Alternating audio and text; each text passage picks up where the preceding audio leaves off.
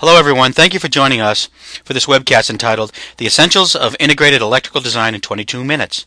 My name is Louis Feinstein. I'm a men- member of the product management team here at SolidWorks. Business pressures and challenges for the success. In today's business environment, companies must address many, many different factors in order to be successful. A key business driver for companies today is innovation. Finding the best and newest products that support leadership in their market or gaining additional market share. These are the worries that keep managers awake at night. By creating better, more effective products, processes, and technologies that are acceptable is not that straightforward. Certainly, companies are striving to design innovative products while reducing product development cost and accelerating time to market. Therefore, companies need to find the right product development cycles to balance the cost and time to market. This balance ensures that the best cost effective products are developed meeting the needs of their existing and future prospects. The pace of product innovation has increased dramatically in a vast majority of the industries such as high tech, life sciences, and consumer goods. Companies are evolving and optimizing their product development cycles to answer these business pressures. Poll question number one. Does your current electrical design process and tools adequately address your business requirements? Right now we're going to talk about a SOLIDWORKS Electrical's unique capabilities and a term terminology that we're talking about is the convergence from logical to physical. This is where we take the, the electrical logical and we merge it with the mechanical physical, creating a new paradigm that we are calling electrical 3D. Real-time integration of schematic and 3D CAD system design. Synchronized electromechanical system design is what we're creating. What's what SolidWorks Electrical is not circuit design, is not circuit design, circuit simulation, PCB layout. SolidWorks Electrical is electrical system design, allowing for cabinet design, advanced electrical interconnect design, and harness development. In addition to the use of single-line schematics, multi-line schematics, power and logic schematics, and PLC logic. Why SolidWorks Electrical? It may be best to start out by sharing some of what we've learned through surveys and interviews with hundreds of our customers over the past year. When we asked them about inefficiencies in their current process, we found several recurring themes that led us to release SolidWorks Electrical. We learned that many were, were using tools that they described as cumbersome or unproductive. Our customers shared that their current schematic tools were difficult to use. They felt that the electrical functionality seemed to be bolted onto an existing product or as an afterthought, making the software harder to learn and more complex than it needed to be. They also revealed that sharing data was difficult across their own teams, not to mention with their mechanical design team counterparts and even worse with the purchasing groups, where the data was needed to be integrated into the ERP and MRP systems. The second theme was the desire to reduce errors, since errors were a significant cause of rework, wasted money, and longer time to market. As we explore these issues, we will learn that many of these errors were the result of poor collaboration capabilities of existing software systems. Some contributors to this poor collaboration capability were the dependencies on XML files, and therefore no automatic or real-time updates to team members was available. And a lot of the integration, such as cable routing, was done in the field or on the shop floor. What we're looking at is the standard traditional electromechanical process where we develop the electrical schematics, the mechanical design, we integrate and document them, and we produce them in manufacturing. We felt there was a better way. Being able to work in parallel instead of sequential is much a better way to work. Issues can be found earlier in the process and allowing for better business decisions to be made earlier. In order to, to do this, we realized that new tools were needed to replace the traditional and current tools in the marketplace. Strategic issues being addressed by SOLIDWORKS Electrical. Basic 2D CAD is too limiting. Reuse of existing design data and designs was, was ineffective. Separate bills of material for electrical, mechanical, and system level. Collaboration cha challenges between teams. integration of electrical systems into products, consistency of product manufacturing, and coordination between systems such as hydraulic, pneumatic, and electrical systems within, within the main assembly. SOLIDWORKS electrical products. To provide a better way, we introduce SOLIDWORKS electrical products that we're going to show you today. First, we have SOLIDWORKS Electrical, a standalone tool for developing schematics, reports, and other supporting documentation. As well as SOLIDWORKS Electrical 3D, an add-on for any SOLIDWORKS license that leverages the schematic data to help designers populate 3D mechanical models, route wires, create single documentation package for the entire electromechanical design. What sets this solution apart from other from others is that SOLIDWORKS Electrical is that we enable real-time collaboration between the electrical and mechanical designers with any project. When, whenever the electrical designer adds a component in the schematic, all others working on the same project will see the changes instantly. This way, the electrical designers will be aware of the changes and the mechanical designers will see the device ready for insertion in their feature manager within SOLIDWORKS. Conversely, if the mechanical designer adds electrical components such as pumps, actuators, or sensors to the assembly, the electrical team will know to add the new devices along with the appropriate power, protection, and control circuitry. Again, this all happens in real time without the need for any individual updates or neutral exchange files, improving collaboration and accuracy for all users. For the single users who need to perform both schematic and 3D tasks, we offer a combined solution called SOLIDWORKS Electrical Professional, which combines all schematic and 3D functionality into a single license. Right now we're going to take a look at product exploration. Today's exploration we'll take a look at an industrial automation example where Sebastian will play the part of, of both the electrical and mechanical designer. We'll explore various schematic capabilities the bidirectional functionality, auto routing of wires, and the generation of reports. Keep in mind that although this is all happening on one machine, this process would be identical and just as fast if we had many users on the project. If you have any questions about what we're showing, please type your questions so we can help clarify. And now I'd like to turn this over to Sebastian to show you SOLIDWORKS Electrical. Hello, uh, today I have got um, a short period of time to show you some of the features which are available inside SOLIDWORKS Electrical 2D and 3D. Uh, currently we're looking at SOLIDWORKS Electrical 2D. You can see that I've got a project to open over here on the left hand side in the Documents Manager and you can see the different type of documents which are available so cover sheets, drawing lists, uh, we've got an overview, which is a, a, line diagram, wiring diagram, single line diagram, however you prefer to call it, which is a, a summary of the overall uh, schematic design. I've also got some power and control circuits here. I've just opened up um, a power circuit and in here you can see that we've got um, a few circuits and symbols placed. What I'm going to do is just complete this circuit by going to our macros tab, selecting a partial uh, DOL or direct online starter circuit and placing that down like so you can see that all of the items are automatically numbered and they're individual entities rather than um, just a complete block. Uh, the first thing uh, that we can notice is that the text on this symbol is over on the right hand side where it's on the left hand side on all of the others. So what I'm going to do is just choose to replace that symbol and from the symbols library I'm going to select another one where the data is justified on the left just to clean up my design a little bit.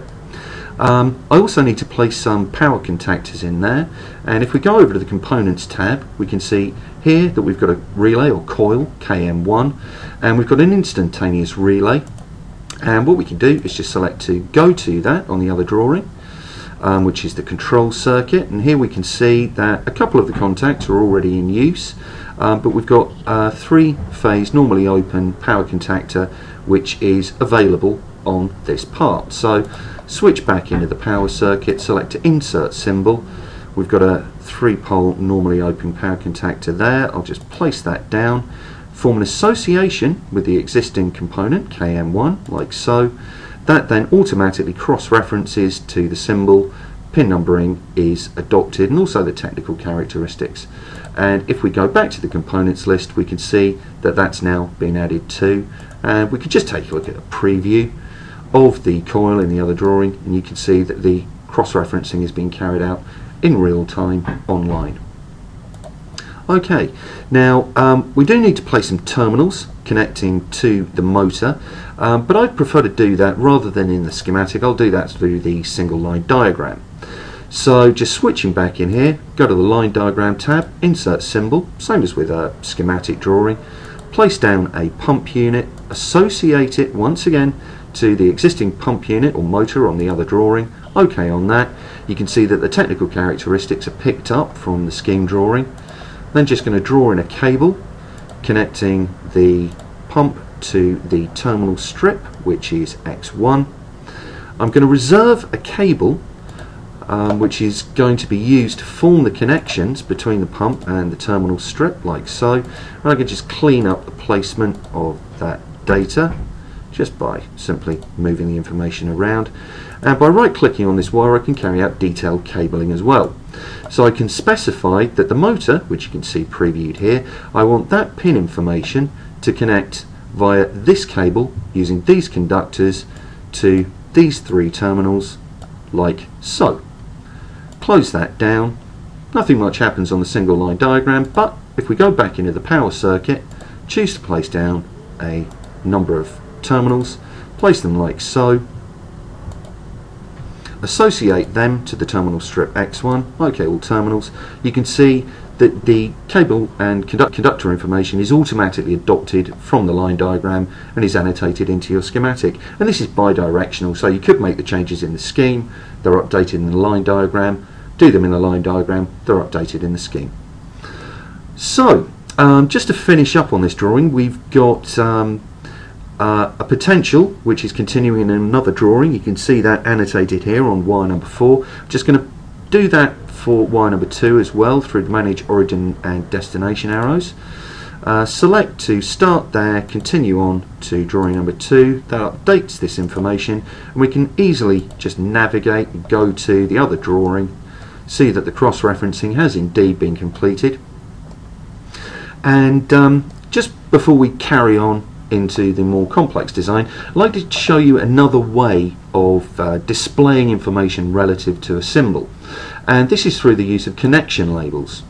And here we have a, a tabular connection label, which I'm just going to place down here. I'm going to form an association with the coil KM1, OK on there, and you can see that that neatly shows the technical characteristics of KM1, the pin information, so the origin information, what it's connecting to, the wire that it's connecting on, um, wire length, if that data has been um, updated from uh, SolidWorks Electrical 3D, size of the wire, unit size for the wire, wire colour indeed. So for example we can see A1 connects to terminal X17 and the wire colour is green. We can see here A1, X17 and if we check on the wire properties here you can see that the colour indeed is green. And if I were to change that say you know that's going to be blue now go OK on that you can see that that updates in real time regardless of where the connection label is within your project. Um, obviously I don't want this to be blue so I'll just switch that back to green like so. And now we can um, just finish up here, obviously we need these wires numbered, which I drew in the other drawing, so I'll just go to process, number wires, number all of those potentials. That of course is updated inside the power circuit. And now we can switch over to SOLIDWORKS Electrical 3D. Um, here we can see the project manager. Highlighted in red is the project that we've just been working on because it is a multi-user environment. Just going to choose to open that up. It's just warning me that somebody else is working on the project, but that's fine. I'll just expand on here, open up one of these assemblies. We've got um, an electrical assembly here, which I'm just choosing to open up now. Shut down a couple of these toolbars. And uh, we'll soon see the components tree which um, we were looking at in uh, 2D is also available here because um, there is a real-time link between the components database. So a change made in 3D is reflected in 2D, a change made in 2D is reflected in 3D. Uh, now most of the components are placed. Um, we can see those which are not currently placed, so everything's placed on the door. We've only got one component to place on the chassis or back plate. Just going to choose to insert that and place that down like so on the rail. And from here what we can then do is choose to wire up the uh, cabinet itself. Now in order to do that you just choose to route wires. I'm just going to use a 3D sketch route. OK on there. And that will analyze the from to connection information from the 2D schematics it will also then compare it against the position of the components within the cabinet itself and work out the optimized route to connect the devices up. And that, of course, will automatically um, reflect in the form of length information back into the 2D environment. Uh, now, in addition to this, we can also segregate and choose to route wires in a different way. You can see I've got um, high and low voltage wires running next to each other here. So what I'm going to choose to do is to segregate a particular wire style. I'm just going to segregate this wire style and I'm going to exclude it from uh, this raceway, like so. Now, nothing happens at the moment, but if I route wires again, delete the existing route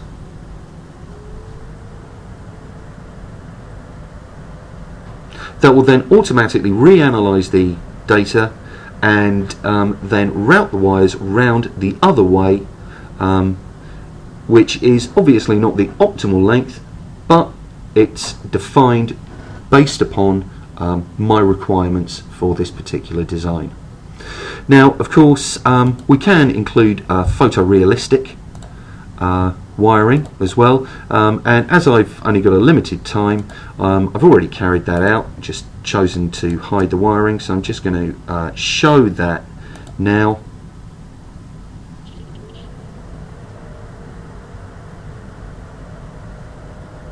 And as soon as you can as soon as these turn on you can see the kind of um, end results that you can expect to find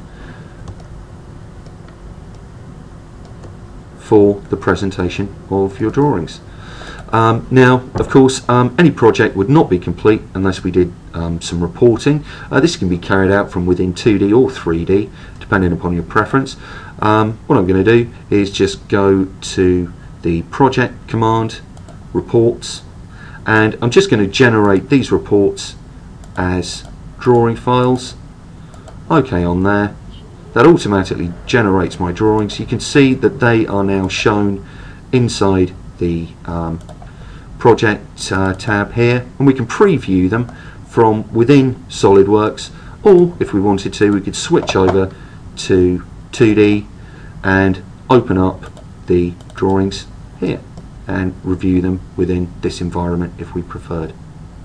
And that's a very, very quick look at SolidWorks Electrical 2D and 3D. Um, thank you very much for your time. SolidWorks Electrical Strategies. Using SolidWorks Electrical, you will be able to produce work faster due to the highly efficient tools for creating schematics and the unique ability to facilitate collaboration amongst all electrical designers involved. The consistency offered from the sharing of data libraries and project files, as well as the ability to generate a unified bill of materials, helps reduce errors that would result in rework and scrap. When we combine these two benefits, the natural result is to reduce development costs while improving time to market. SOLIDWORKS electrical design software, streamlining collaborative design involving mechanical and electrical groups, real-time collaboration, unification of design process across disciplines, simplification of day-to-day -day design tasks, reduction of product development cycle time, reduction of manufacturing defect and scrap, overall cost savings.